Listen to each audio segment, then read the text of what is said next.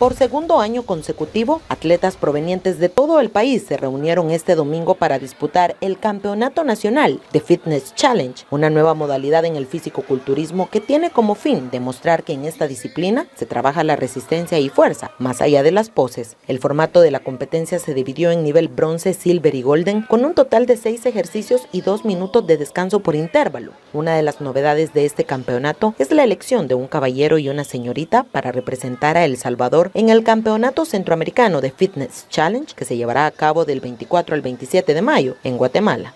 Estamos realizando el Campeonato Nacional de Fitness Challenge, una nueva modalidad en el físico-culturismo en la cual demostramos que el físico-culturismo no es solamente hacer poses, sino que también podemos tener fuerza y resistencia para poder hacer ejercicios que habitualmente realizamos en los gimnasios.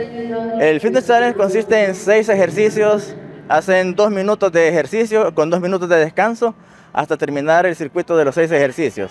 Vamos a empezar con la modalidad bronce, luego seguimos con el silver y a finalizar con la golden, que son los ejercicios más difíciles. Y también algo muy novedoso es que vamos a escoger a un caballero y a una señorita para que nos represente ya por primera vez en el Campeonato Centroamericano en esta modalidad, un evento centroamericano donde El Salvador, en toda Centroamérica, está a la vanguardia del Fitness Challenge y no dudamos que vamos a hacer la cabeza en ese campeonato.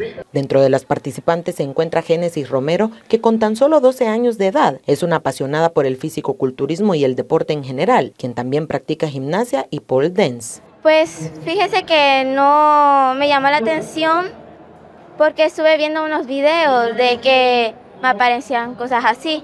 Y yo le dije a mi mamá, este, mamá, quiero probar esto. Entonces, me dijo, vamos a probar entonces. Gracias, mamá. ¿Qué deportes practicas también? Es gimnasia, este, pol, pol artístico, este, a, aéreos como telas, lira, este, ballet, de todo tipo.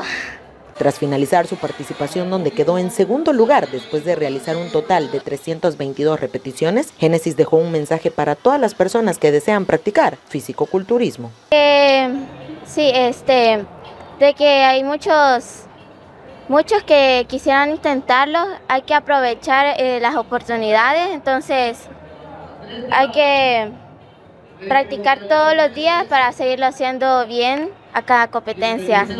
Esta es la primera ocasión que la Federación de Físico-Culturismo rompe récord con el número de asistentes al registrar 55 participantes en el Campeonato Nacional de Fitness Challenge. Con imágenes y edición de Rodrigo Cepeda informó para Más Deportes, Rebeca Martínez.